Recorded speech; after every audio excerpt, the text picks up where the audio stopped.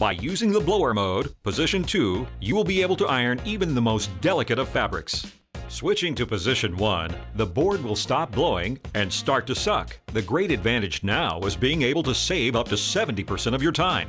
Let us take, for example, a pair of jeans, just out of the washing machine and nicely wrinkled up. You fold the legs together. You can do the same for sheets and pillowcases. You fold them up like a handkerchief, creating 5 to 10 layers of thickness. Now the ironing board is not blowing, but sucking. And that suction, combined with a pressure of 3.8 bars and 140 grams per minute, will let you iron in just a few seconds, not two layers, but even four.